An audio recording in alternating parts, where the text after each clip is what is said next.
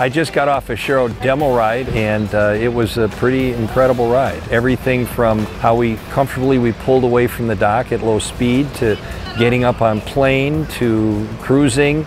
The way it handled in a tight turn, you know, I'm used to having to kind of throttle out of a turn because the boat will dig and they didn't touch the throttle and it really, it came down a hair, but it did not come off plane. It, it was, that was probably the coolest part.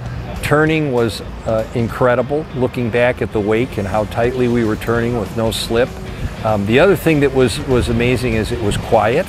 Immediately you notice the boat's quieter. It's a much more enjoyable ride.